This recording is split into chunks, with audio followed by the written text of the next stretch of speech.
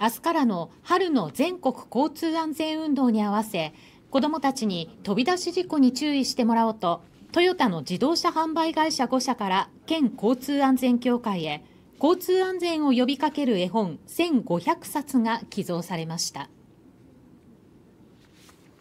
この絵本は春の全国交通安全運動に合わせ1969年から全国の子どもたちに毎年贈られているものです。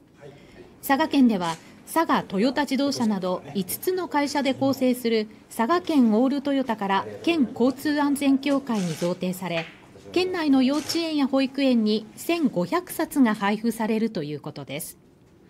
絵本は主人公のひよこが道路に飛び出して車とぶつかりそうになるという内容で飛び出し事故への注意を呼びかけています。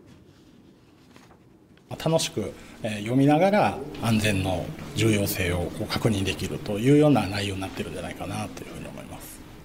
幼児教育が一番大事ですから我々も活用できればなというふうに考えております。